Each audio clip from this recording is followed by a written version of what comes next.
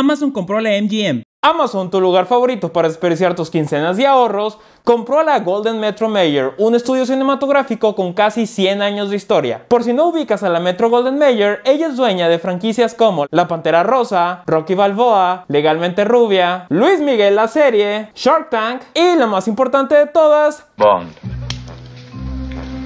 James Bond. el señor Jeff Bezos desembolsó 8.450 millones de dólares por la MGM, aunque el estudio realmente estaba valorado en 5 mil millones de dólares. Eso da que para amarrar el trato, Amazon soltó 3.45 mil millones más para quedar de compas con la MGM. Con esa increíble cantidad de dinero, Amazon ahora es dueña de las 17.000 series y 4.000 películas producidas por la MGM desde 1924. Felicidades a ti porque con tus quincenas